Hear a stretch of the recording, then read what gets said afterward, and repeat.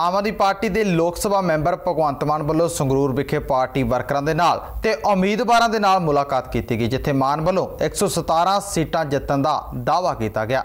ਤੇ ਐਲਾਨ ਕੀਤਾ ਗਿਆ ਕਿ ਸਰਕਾਰ ਬਣਦਿਆਂ ਹੀ ਸਰਕਾਰੀ ਮਹਿਕਮਿਆਂ ਦਾ ਪੈਸਾ ਖਾਣ ਵਾਲੇ ਰਾਜਨੀਤੀਵਾਨਾਂ ਤੋਂ ਪਾਈ ਪਾਈ ਦਾ ਹਿਸਾਬ ਲਿਆ ਜਾਵੇਗਾ।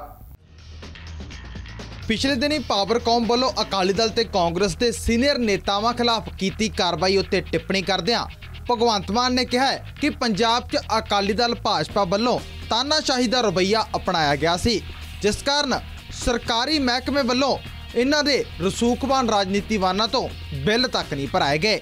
ਉਹਨਾਂ ਆਖਿਆ ਕਿ ਆਮ ਆਦਮੀ ਪਾਰਟੀ ਦੀ ਸਰਕਾਰ ਬਣਦਿਆਂ ਹੀ ਪਾਈ ਪਾਈ ਦਾ ਹਿਸਾਬ ਸਾਰੇ ਰਵਾਇਤੀ ਆਗੂਆਂ ਕੋਲੋਂ ਲਿਆ ਜਾਵੇਗਾ ਕਿ ਉਹਨਾਂ ਕਿਸ ਸਰਕਾਰੀ ਮਹਿਕਮੇ ਦਾ ਕਿੰਨਾ ਵਿੱਤੀ ਤੌਰ ਤੇ ਨੁਕਸਾਨ ਕੀਤਾ ਹੈ। अभी मैं, मुझे मुझे सवाल मेरा ये है कि पावरकॉम अब क्यों आया है हरकत में? दस दस साल के बिल नहीं भरे उन्होंने कोलियाँ वाली के घर पे मीटर क्या अब लगा था। इसका मतलब पहले इन्होंने गुंडागर्दी की है। ऐसा लगता है जैसे किसी फौजी डिक्टेटर से देश आज़ाद हो रहा हो। कि अब अब अब अब अब अब कहाँ हम बिल भरवाएँगे। बड़े बड़े अच्छा गरीब पाँच दिन बिल भरने में लेट हो जाए, उसका मीटर काट देते हैं।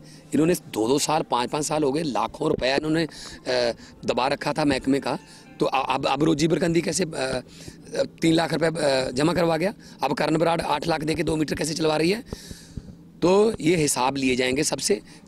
कितना नुकसान इन्होंने बिजली बोर्ड का किया, बर्बाद करके रख दिया इन्होंने सरकारी महकमों को। ਵਿਧਾਨ ਸਭਾ ਚੋਣਾਂ ਦਾ ਕੰਮ ਮੁਕੰਮਲ ਹੋ ਚੁੱਕਿਆ ਹੈ ਤੇ 11 ਮਾਰਚ ਨੂੰ ਨਤੀਜੇ ਆਉਣ ਜਾ ਰਹੇ ਨੇ। ਪਰ ਆਮ ਆਦਮੀ ਪਾਰਟੀ ਦਾ ਮੁੱਖ ਮੰਤਰੀ ਉਮੀਦਵਾਰ ਕੌਣ ਹੋਵੇਗਾ?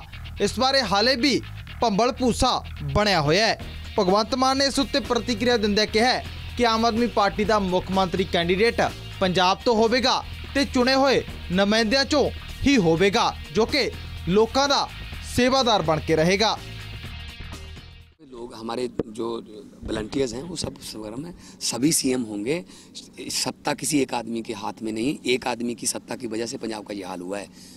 कि सुखबीर बादल और मजीठिया के हाथ में सत्ता चली गई तो उन्होंने सत्ता को मिसयूज़ किया है तो लोकतंत्र में सभी सीएम होंगे सभी सभी के पास शक्ति आएगी बेरोजगार नौजवान सत्ता में आ रहे हैं किसान सत्ता में आ रहे हैं हमारी बच्चियां बेटियां बहनें हमारी जिनकी इन्होंने इज्जतें गलियों में रोल दी वो सत्ता में आ रही हैं हमारे माँ बाप जो इलाज के बिना मर रहे हैं वो सत्ता में आ रहे हैं ਚਟਾਲਾ ਪਰਿਵਾਰ ਵੱਲੋਂ ਇੱਕ ਵਾਰ ਮੁੜ ਐਸਵਾਈਐਲ ਦੇ ਮੁੱਦੇ ਨੂੰ ਹਵਾ ਦਿੱਤੀ ਗਈ ਹੈ ਇਸ ਉੱਤੇ ਤੰਜ ਕੱਸਦਿਆਂ ਮਾਨ ਨੇ ਕਿਹਾ ਹੈ ਕਿ ਬਾਦਲ ਸਾਹਿਬ ਦੀ ਖੁਦ ਦੀ ਨਈਆ ਤਾਂ ਡੁੱਬ ਚੁੱਕੀ ਹੈ ਪਰ ਉਹ ਜਾਂਦੇ ਜਾਂਦੇ ਚਟਾਲਾ ਪਰਿਵਾਰ ਨੂੰ ਇਹ ਹਥਿਆਰ ਦੇ ਗਏ ਨੇ ਕਿ ਉਹ ਐਸਵਾਈਐਲ ਵਿਰੁੱਧ ਪ੍ਰੋਟੈਸਟ ਕਰ ਆਪਣੀ ਰਾਜਨੀਤਿਕ ਸ਼ਾਖ ਚਮਕਾ ਲੈਣ देखिए च- ये तो बात किसी से छुपी नहीं है कि इनेलो और अकाली दल में आपस में अ, गठजोड़ है बादल साहब ने उनका प्रचार भी किया था विधानसभा में।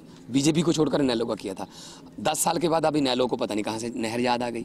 शायद बादल साहब हारी हुई बाजी जो है वो लगा रहे हैं। जब फौज हारती है तो पीछे जब चल, पीछे को जब चलती है तो जाते जाते वो माइंस बिछा जाते हैं बारूदी सुरंगें कि चलो हम तो हार ही रहे हैं। इनके दो चार टैंक उड़ जाएँगे। तो जितना नुकसान कर सकते हैं। बादल साहब बिल्कुल वही कर रहे हैं। वो पंजाब की प्रगति और विकास को नहीं आगे बढ़ना चाहते वो ये एस वाई एल जैसे और ये अमन कानून की स्थिति खराब करके ये अ, पंजाब की प्रगति और विकास के रास्ते में ये माइंस बिछा रहे हैं ਆਮ ਆਦਮੀ ਪਾਰਟੀ ਦੇ ਲੋਕ ਸਭਾ ਮੈਂਬਰ ਭਗਵੰਤ ਮਾਨ ਵੱਲੋਂ ਸਰਕਾਰ ਬਣਾਉਣ ਦਾ ਦਾਅਵਾ ਕੀਤਾ ਗਿਆ ਹੈ ਤੇ ਇਹ ਵੀ ਐਲਾਨ ਕੀਤਾ ਗਿਆ ਕਿ ਸਰਕਾਰ ਬਣਦੇ ਹੀ ਦਾਗੀ ਰਾਜਨੀਤੀਵਾਨਾਂ ਖਿਲਾਫ ਕਾਰਵਾਈ ਹੋਵੇਗੀ ਪਰ ਆਮ ਆਦਮੀ ਪਾਰਟੀ ਆਪਣੇ ਵਾਅਦਿਆਂ ਤੇ ਦਾਅਵਿਆਂ ਤੇ ਕਿੰਨੀ ਕੁ ਖਰੀ ਉਤਰਦੀ ਹੈ ਇਹ ਤਾਂ ਤਦ ਹੀ ਕਿਹਾ ਜਾ ਸਕਦਾ ਹੈ, ਜੇਕਰ 11 ਮਾਰਚ ਨੂੰ ਆਪ ਸਰਕਾਰ ਬਣਾਉਣ 'ਚ ਕਾਮਯਾਬ ਰਹੇਗੀ। Bureau report, global Punjab TV.